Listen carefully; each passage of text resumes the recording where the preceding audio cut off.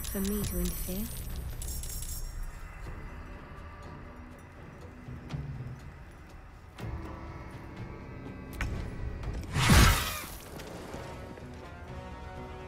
Cry about it.